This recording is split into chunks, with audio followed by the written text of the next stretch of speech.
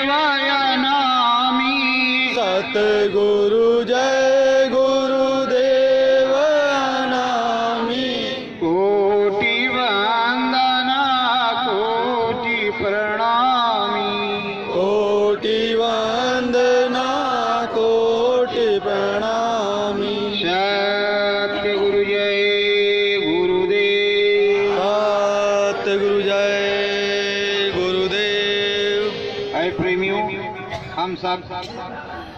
संगम तट पर अपने सदगुरु का संदेश देने के लिए जनमानस को शाकाहार, सदाचार का पाठ पढ़ाने के लिए आए हैं। तो सुबह शाम लग करके उस काम को कर भी रहे हैं। साथ ही साथ सुमरन ध्यान भजन हो रहा है। अब जब शाम को टाइम मिलता है, तब थोड़ा मोड़ा मालिक की यादगारी, प्रार्थना, पाठ सुमरन ध्यान भजन। जो आदेश है मालिक का, उसको पालन ही करना है। गुरु के आदेश का पालन करना, गुरु की वाणी को मानना ही गुरु भक्ति कहते हैं। जो गुरु को मानता है, सदगुरु को मानता है, वो गुरु की वाणी सदगुरु को मानता है तो नाम को तो सभी मानते हैं। राम नाम, सदगुरु नाम, राधा नाम, कृष्ण नाम, हरे नाम वैसे जय गुरुदेव नाम। जन जन की जबान पर जब जय गुरुदेव आएगा, सच्ची स्वतंत्रता का तब आनंद पाएगा।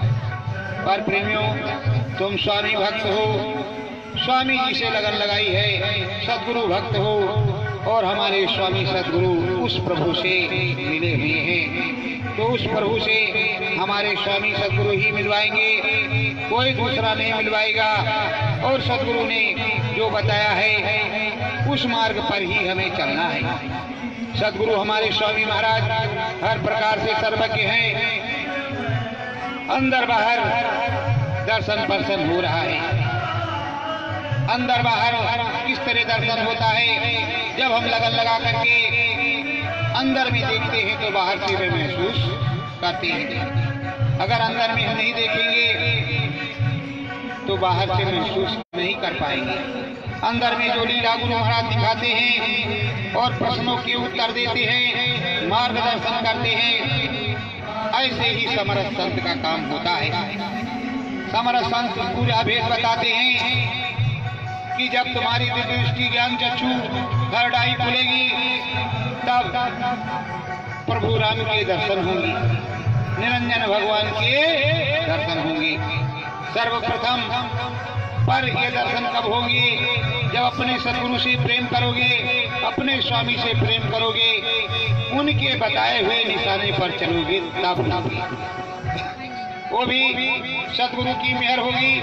जब तुम सदगुरु में मना, मन लगाओगे कहते हैं गुरु चरणन में जब मन होगा तब ही सफल तेरा जीवन। अगर तुम्हारा सदगुरु चरणों में मन नहीं है तो तुम्हारा जीवन सफल होने वाला नहीं है। तो सबसे पहले स्वामी महाराज अपने सदगुरु मिलेंगे। तत्पश्चात प्रभु राम के दर्शन होंगे। प्रभु राम के दर्शन होने के बाद ब्रह्म पद पर जाएँगे और उधर मालिक से मिलते रहेंगे आते जाते रहेंगे। तो मीराबाई ने भी कहा, लाली देखन मैं गई, मैं भी हुई, हो गई लाल। और जब मैं लाल हो गई तो मुझे परमानंद सुख प्राप्त हुआ। उसी तरह जब तुम जाओगे ब्रह्म पर तो तुम भी लाल हो जाओगे। और तब गुरु महाराज के लाल कहनाने लगोगे। अब ब्रह्म पद पर जाने लगे, आने लगे, गुरु के दर्शन प्रसन्न होने लगे, बातचीत होने लगी। तो अब तो तुम्हें पता ही है कि गुरु महाराज का क्या आदेश निर्देश है। आपसे कहेंगे कि आपने देखा तो गुरु महाराज का ये हुआ। तो आप कहेंगे, हमने जो देखा, तुमने देखा ही नहीं। अरे, हमारे गुरु महाराज, अजर अमर अविनाशी हैं, उनका कुछ होने वाला नहीं। तुम्हारी चरमा को ने तो उसको देखा है, और हमारी अंतर आत्मा ने अपने स्वामी को देखा है। तो प्रेमियों जिस अंतरात्मा ने स्वामी को देखा है, सदगुरु को देखा है, वो तो सच्ची चीज़ है। सच्चे समरसन सदगुरु को उसने देखा है। और सच्चे स्वामी से, सच्चे सदगुरु से वो लगन लगाए हुए है। और स्वामी से लगन लगाना, सदगुरु से लगन लगाना, सदगुरु में होना ही सूरत का काम है। सूरत स्वामी से लगन नहीं लगाएगी तो जाएगी कैसे? जब तक तक सूरत स्वामी में नहीं होगी, तब तक कुछ होने वाला नहीं है। जब सूरत स्वामी मने हो जाएगी, तभी कुछ होने वाला है। जब अंग संग सदगुरु होते हैं, तब कुछ मिलता है। जब अंग संग सदगुरु नहीं होते, कुछ भी मिलने वाला नहीं। नाम तो संसार में अनेक हैं।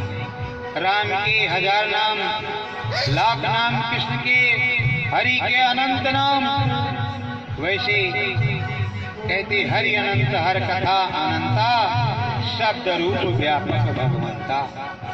ये शब्द पर पसारा बना हुआ है और शब्द ही भजन है। तो शब्द जो भजन है, वो हमारे इस ब्रह्मांड में अंतर घट में, अंदर में उतर रहा है। देववाणी ब्रह्मवाणी सुनाई देती है, पर सदगुरु की कृपा से जब हम नाम भजन करेंगे, अपने सदगुरु के शरणागत होंगे, चरण शरण कहेंगे तो अवश्य ही शब्द सुनाई देगा। कहते हैं, ढाई आकर प्रेम का पढ़े पंडित हो जो ढाई अक्षर प्रेम का पढ़ गया, प्रेम लग गया मन मंगन हो गया नाचने लगा अपने स्वामी के सामने। तो स्वामी भी खुश होकर के उसको बख्शी दे देते हैं। प्रेमियों, जब साधना बनती है तो अंदर भी वही, बाहर भी वही। जब इस मालिक की दया मेहर होती है, स्वामी की दया मेहर होती है, सदगुरु की दया मेहर होती है तो क्या खुला क्या बंद? सब खुला सब बंद। अरे आँख बंद करोगे तब भी दिखेगा। और नहीं तो बाद में ये कहोगे "ये मालिक, दया कर दो। बाहर चल रहे हैं, कहीं ठोकर न जाए। ऐसा होता है अलौकिक कि जब चम चम चम चम रील चलने लगती है वो प्रकाश आने लगता है तो चका चौंध तो सूरत होती है, वो जीव आत्मा की आँख होती है, पर प्रभाव इस बाहरी आँख पे पड़ता है। इसको भी वही चमचमाहट दिखाई पड़ती है, तब साधक प्रेमी सदगुरु के प्रेमी कहते हैं, मालिक, थोड़ी दया कर दो। इस संसार में चलना है तो ऐसा दीजिए, साई इतना दीजिए, जामे कुटुम समाये। मैं भी भूखा न रहूँ, साधु न भूखा। इस तरह प्रार्थना अपने स्वामी से, वो सूरत जीवात्मा सत्संगी प्रेमी करते हैं। और हमारे स्वामी महाराज परम संत बाबा जय गुरुदेव जी महाराज, जो विश्व विख्यात हैं, इनके प्रेमियों ने अद्भुत अलौकिक दर्शन किए। और अब भी अद्भुत अलौकिक दर्शन हो रहे हैं। जो सदगुरु चरणों में है, स्वामी चरणों में है। जो स्वामी भक्त है, उसे सब कुछ मिल रहा। कहते, गुण निगुरु को सब कुछ मिल रहे। ओजत है चालाक। संत ने जान लई हर बार। ये क्या नहीं जानते हम आप यहाँ पर आए हैं तो इनकी मौज मेहर से आए और यहाँ पर आए हैं तो दया दुआ इन्हीं की है। पग पग जब उठता है तो हर पग पर साथ गुरु महाराज देते हैं, हमारे सदगुरु देते हैं। और ये कहते रहते हैं कि बच्चू, जहाँ तुम तुम्हारा तलवा होता है, पैर पड़ता वहाँ हम हथेलियाँ बिछाते हुए चलते हैं। कांटे नहीं लगते हैं। एक समय की बात है, स्वामी महाराज के आदेश से हम इधर मिर्जापुर, बनारस की तरफ़ से वापस अयोध्या जा रहे थे। अयोध्या स्टेशन पर उतरे तो पैर नीचे रखा। पर हम प्लेटफार्म की तरफ़ ना उतर करके दूसरी तरफ़ उतरे जब पैर पटरियों से नीचे बजड़ी में पड़ा तो उसमें भटकटैया का कांटा फैला हुआ था। जब पैर पड़ा तो बोले ज़ोर से, उस समय अब पैर पड़ा, कांटा लगा तो जय मुँह से निकला। और फट फट फट, थोड़ा आगे बढ़ करके प्लेटफार्म पर चढ़ गए, झोला रख करके। अब पैर में हाथ लगा रहे नीचे तलवे में, एक भी कांटा नहीं। एक भी कांटा नहीं, और ना मुझको कहीं गला ना चुभा वो लगा कि कांटा है। और बहुत बड़ा पेड़ था भटकटैया का मुझको एक भी कांटा नहीं लगा। ऊपर चढ़ गए। मालिक ने आदेश किया कि बच्चों, ये जो कुछ लिए हो, यहाँ ये जो टहल रहे हैं, बानर स्वरूप इन्हें खिला दो। मैंने गुरु आदेश का पालन किया सब खिला दिया फिर गाड़ी पकड़ी और रुदौली गरम बड़ेला के लिए चले गए। दोबारा मालिक का आदेश हुआ, फिर मैं निकला तो नंगे पाव फिर निकला कहते, संत मिलन को जाइए तजमाया अभिमान, जो जो पग आगे बढ़े कोटिन जग समान। है प्रेमो जब दोबारा निकला और जैसे सतगुरु जय गुरुदेव मंदिर ग्राम बड़ेला से आगे पैर बढ़ाया गुरु महाराज ने कहा, सुन, चप्पल पहन ले, अब की बार हाथ हम नहीं रखेंगे कांटे तेरे पैर के नीचे। नहीं तो जैसे कांटा करता तो चिल्लाता बहुत ज़ोर से। चप्पल पहन फिर प्रेमियों, मैंने चप्पल पहनी चप्पल पहन के मैं गया। तो वो तो सब कुछ जानते हैं। सौ मीटर पे क्या है वो भी बता देंगे। कल क्या होने वाला है वो भी बताएँगे, पर तुम्हारी लगन तो लगे। तुम स्वामी भक्त बनो तो। जब तुम स्वामी भक्त बनोगे तो अनामी तो मिल ही जाएगा। अरे यही तो अनामी यही स्वामी है, यही सदगुरु है। यही सदगुरु जय गुरुदेव, यही जय गुरुदेव है। पर सदगुरु एक पद है। एक अमोलक वस्तु है। सदगुरु एक ऐसी अमोलक वस्तु है जो दुर्लभ रतन बिरला को मिलती है। ये तुम्हारे सदगुरु हैं। दुर्लभ रतन है। और अगर ये मिल गए तो सब कुछ मिल जाएगा। हमसे मार्गदर्शन मिल सकता है। हम आपके गुरु भाई हैं। पर सदगुरु नहीं मिल सकता। हम सदगुरु को नहीं दिला सकते। मुझे खुद भी प्राप्त हो तो कोई अपने भगवान या प्रभु का बंटवारा नहीं करता। वो समझता है मेरे प्रीतम, ये मेरे स्वामी, यही मेरे सदगुरु, यही मेरे अनामी। अरे प्रेमियों, जब सदगुरु स्वामी अनामी ने मौज की तो मीरा को हृदय को मिला तो मीरा हृदय। मीरा हृदय। और करिया सैनी जिनको मिला, वो सबने बंटवारा नहीं किया। क्यों नहीं किया? जब गोस्वामी जी के पास करिया और सैनी गई तो करिया को इतनी लगन लग गई थी कि वो स्वामी से तत्काल मिलना चाहती थी, सदगुरु से मिलना चाहती थी कि हमें वही मिल जाए, बाकी हमें कुछ चाहिए नहीं। अब प्रेम के विवल हो गई तो उनके शिष्य हृदय ने वहाँ पर बैठा करके उस साधना में पूरे थे, उन्होंने पूरा अनुभव गुरु का करवा दिया सदगुरु का। अब उसे जब मिला तो और आनंद आया। अब वो तो उसमें ऐसी लगन जगी कि अब बिना स्वामी के दर्शन के मुझको चैन नहीं है। इसी तरह मीरा मीराबाई को लगन लगी। जब मीरा को लगन लग गई तो भी नाचने गाने लगी। इसका प्याला पी गई, कुछ भी नहीं हुआ। इसका प्याला उन्होंने पिया, पर देखने में पिया। वास्तव में इसका प्याला उन्होंने नहीं पिया, इसका प्याला तो उनके सदगुरु ने पिया। क्योंकि उन्होंने जब इसका प्याला पीने के लिए सामने आया तो उन्होंने प्रणाम किया और गुरु को अर्पण किया अपने सदगुरु को। जैसे तुम भोजन प्रसाद पहले गुरु महाराज को अर्पण करते हो और कहते हो, मालिक, आप भी भोजन प्रसाद ग्रहण करो, तत्प्रसाद हमें भी प्रसाद मिल जाए। तो वो तो प्रसाद गुरु महाराज के सामने गया। तो जो विकार होंगे उसमें के तो गुरु महाराज पर जाएँगे तुम पर क्या आएगा? तुमने तो उसको प्रसाद बना लिया। सब कुछ। कहते हैं तन मन धन सब अर्पण, क्या लागे मेरा? जब शरीर ही मेरा नहीं है।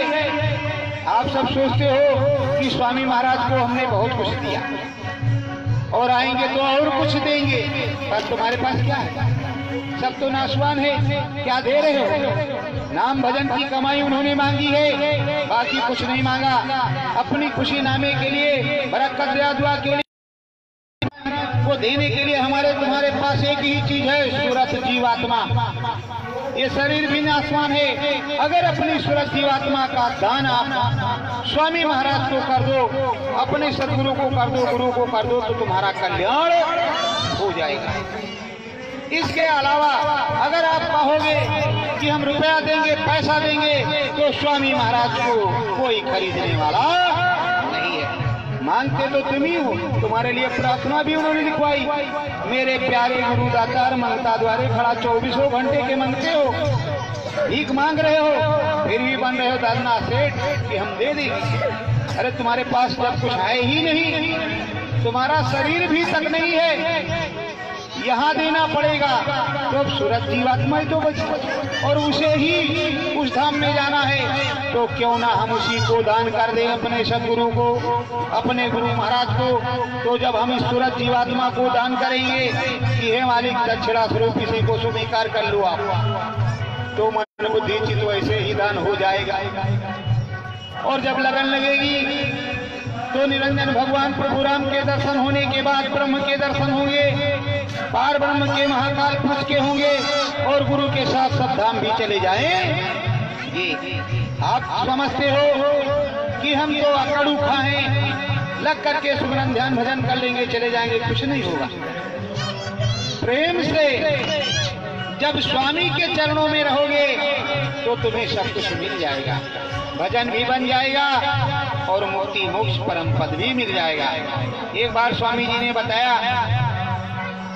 कि गुरु दादा महाराज ने कहा, देखो, मेरे पास नहीं रहना है। मेरे पास रहोगे गुरु दादा महाराज ने? गुरु महाराज से कहा, मेरे पास रहोगे तो मुझमें विकार निकालोगे, बुराई ढूंढोगे, इसलिए मेरे पास मत रहे।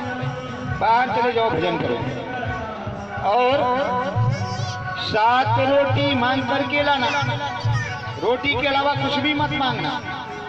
एक रोटी चौबीस घंटे में खाना और भजन करना। ये गुरु महाराज को गुरु दादा महाराज ने आदेश दिया। गुरु महाराज निकल पड़े। कुछ दिन तो रोटियाँ मांगते, खाते रहे। गुरु महाराज ने 24 घंटे में से 22 घंटे बैठ करके भजन किया और आप कहो 22 मिनट भी बैठा नहीं जाता आपका। बाईस घंटे बैठ करके उन्होंने भजन किया।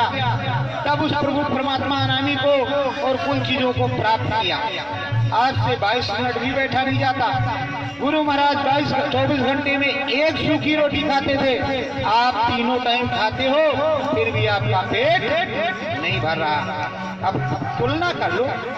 जब बताया गुरु महाराज ने, उसी को सोच लो कि एक रोटी हमारे सूखी गुरु महाराज खाते और हम तीनों टाइम खा रहे नाश्ता भी लाओ, ये भी लाओ, वो भी लाओ भी। तो बताओ खाए हो डकार आएगी, भजन कैसे होगा? गुरु महाराज ने समझाया कि बच्चों, दो रोटी की भूख है तो डेढ़ ही खाना, तीन की भूख है तो दो ही खाना, कम खाओगे तो कम खाओगे, भजन बन जाएगा। फिर प्रेमियों, स्वामी महाराज चित्रकूट पहुँच गए, बजरंग बली के मंदिर के सामने पीपल के पेड़ के नीचे पलथी मार करके बैठ गए, साधना में लगन हो तीन दिन तक रोटी नहीं मांगी, कुछ नहीं खाया। अब गुरु दादा महाराज ने देखा कि तीन दिन से भूखा भूखा बैठा है। तो गुरु दादा महाराज ने एक किसान का मुकदमा पूछा था, उसको स्वप्न दिया। कि हनुमान जी के मंदिर के सामने जो महात्मा बैठा है, पाँच शेर लड्डू चढ़ा दे, मुकदमा जीत जाएगा। उसने सुबह यही किया, फट नहाया धोया, कपड़ा पहना, पाँच शेर लड्डू लिया। क्या है? कहा, ये लड्डू है महाराज आपके लिए। आप खाओ कहा रे, हनुमान जी के मंदिर में चढ़ाओ, मुझको क्यों चढ़ाया? हम कुछ नहीं जानते। हमको जो बताया गया है रात को, हम वो जानते हैं, ये पाँच किलो लड्डू, पाँच शेर लड्डू आपको ही खाना है। और ये पकड़ो लड्डू, हम चलते हैं। उसने जो भी राम नाम जो बोला हो, जय श्री राम, उस जमाने में, वो स्वामी महाराज को लड्डू दे करके चला गया, वो मुकदमा के जी। अब स्वामी महाराज कहते क्या लड्डू तो खाने ही पड़े अब वो जब रखे गया तो उसको खाने खाना, स्वामी महाराज ने लड्डू खाया और धीरे धीरे भजन करते करते फिर संत किरौली आश्रम गुरु दादा महाराज के पास पहुँच गए। तो कहा, बच्चू, मैंने कहा था कि एक रोटी खाना और मांग करके लाना बताओ, तीन दिन तुम भूखे बैठे रहे। मुझको कैसे बर्दाश्त होता मैंने तुम्हें जो लड्डू खिलाया है, वो तुम्हारे भजन से काट करके दिया है। अब गुरु महाराज अपने संग रह गए कहा, देखो, जो आदेश गुरु का हो, उसका पालन तुम्हें करना ही करना है। तो प्रेमियों, यही आदेश गुरु महाराज का है हमेशा।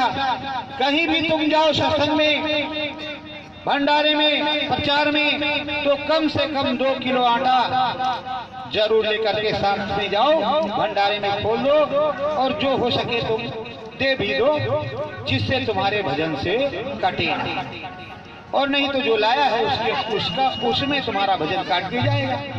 ये प्रेमियों गुरु महाराज का आदेश है सच्चा। और अपने स्वामी से ही मन लगाना। और सादगी में भजन करना। भजन करके अपने स्वामी को प्राप्त करना ही हमारा तुम्हारा कर्तव्य है। अय प्रेमियों, ये त्रिवेणी का पावन तट है। यहाँ गुरु महाराज कई बार आए हैं जहाँ आप लोग बैठे हो। ये ब्रह्मपुरी जगह है। राम भी आए हैं, भरद्वाज मुनि का आश्रम तो है ही। तीर्थराज प्रयाग भी यही है। तीर्थों का राजा। और स्वामी महाराज भी यहाँ कई बार आए।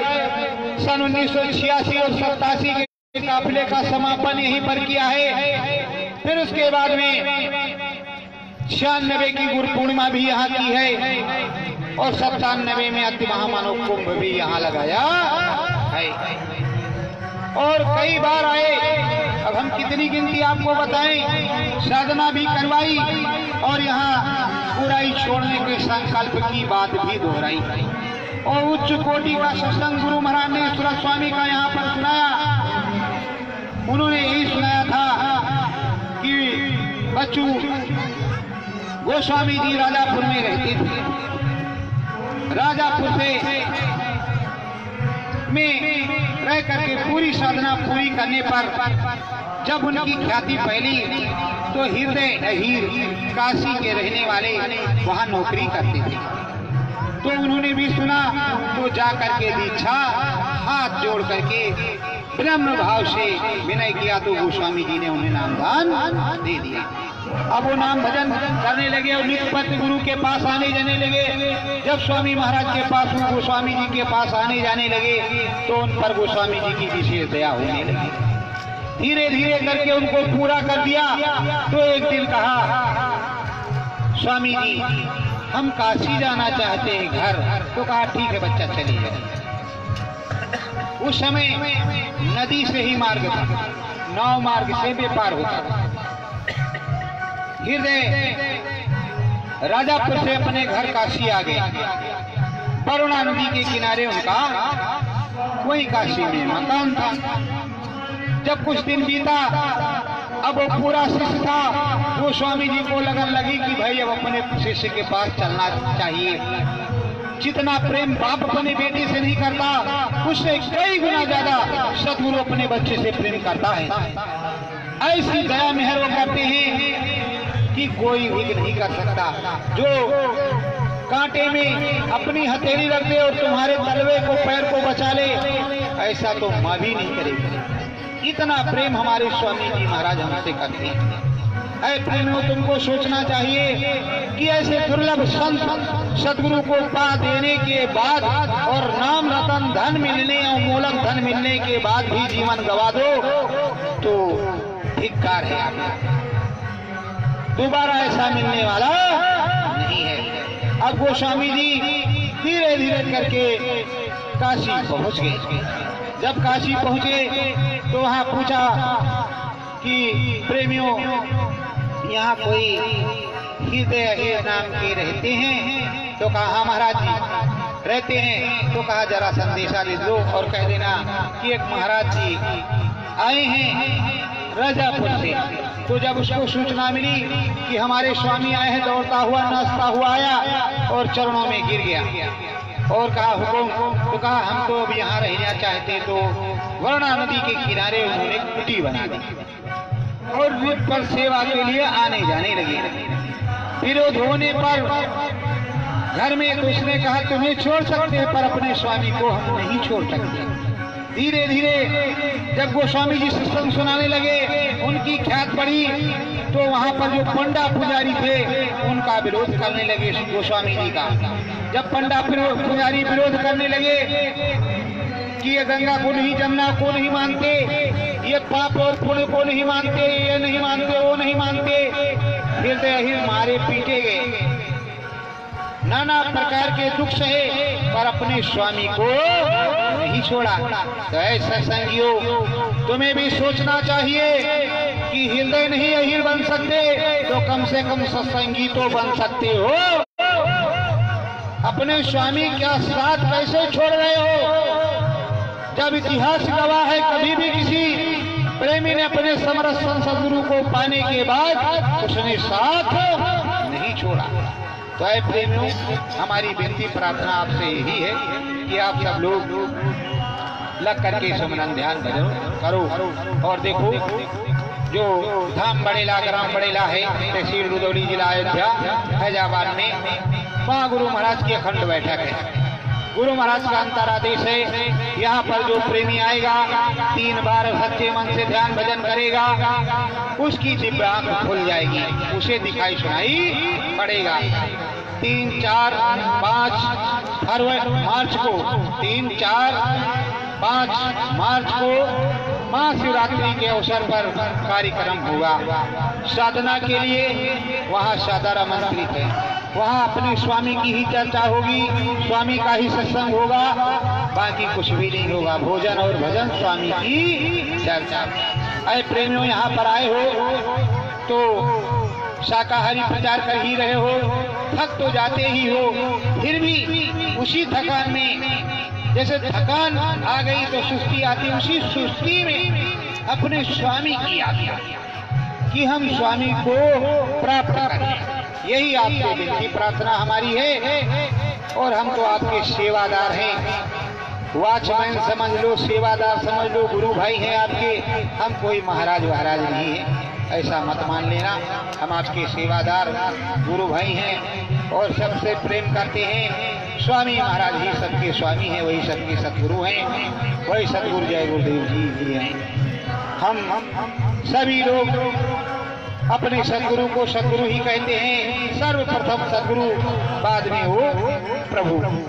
बिना सदगुरु के कोई मिलता नहीं, इसलिए सदगुरु को ही सबसे पहले याद करते हैं, स्वामी को ही याद करते हैं। कहते गुरु गोविंद हो खड़े काके लागो पाए। बलिहारी गुरु आपने गोविंद देव लखाए बिना हमारे स्वामी के कौन गोविंद को बताए? यही गोविंद है तो ये जाने, यही अनामी है तो ये जाने। हम तो अपने स्वामी सदगुरु को जानते हैं और इन्हीं के चरणों में रहेंगे। अरे प्रेमियों, आप सब भी इसी तरह लगन मगन होकर के शबरन ध्यान भजन करते रहो और स्वामी जी के ही प्रति लगे रहो। कोई दूसरा पार करने वाला नहीं। जब समरस संत अनामी अपने सदगुरु नहीं पार कर सकते तो दूसरा कैसे पार करेगा? बोला सतगुरु जय गुरुदेव। सतगुरु जय गुरुदेव। सतगुरु स्वामी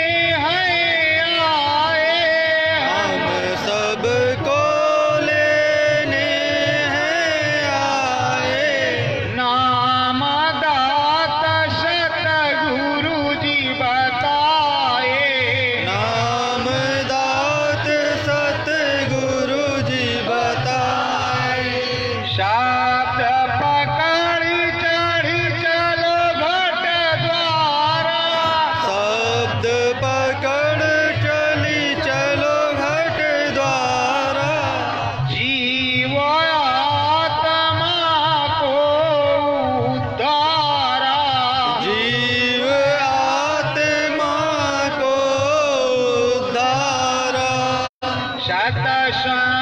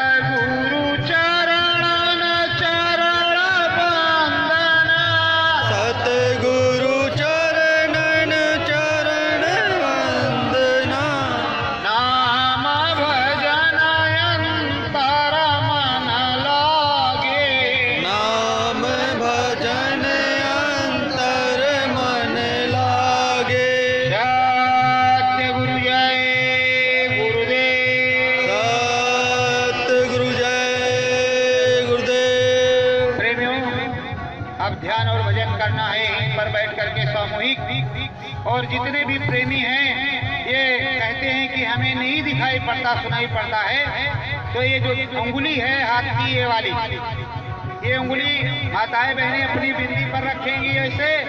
यही पर सूरज जीवात्मा बैठी हुई है और पुरुष लोग भी जहाँ तिलक लगाते हैं यहाँ मत्थे में, दोनों भवों के बीच रख लेंगे और सिर्फ़ स्वामी जी का ही नाम बोलेंगे अंदर। जो स्वामी महाराज ने नाम बताया, वही बोलेंगे अंदर में, एक ही नाम। और स्वामी महाराज को ही याद करेंगे। दूसरे को नहीं, और जैसे ही आँख रुकेगी बाहर की, स्वामी महाराज का दर्शन होगा। ये उंगली इसलिए रखाई जाती है कि तुम्हारा मन भागता है, जब तुम इस पे उंगली रख लोगे तो इसी जगह तुम्हारा मन टिकेगा यहाँ पर।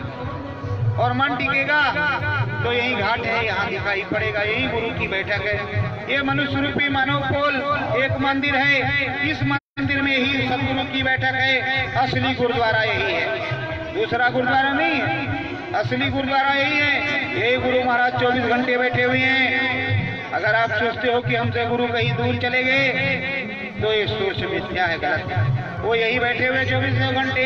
कहीं जाते आते नहीं, जब नाम दान देते हैं गुरु महाराज तो उसी समय आप खोल देते हैं। और तुम्हारे पचहत्तर परसेंट कर्म वो ले लेते अपने ऊपर, और इस घाट पर वो बैठ जाते हैं। अब तुम्हें वो नाभिक है, मल्ला है, और भव सागर से पार लगाने हुए वाले हैं, वो यहीं पर बैठ जाते हो, तुम्हें ले जाने का पूरा कॉल करार करते, इंतज़ार करते रहते हैं कि कब आएगा।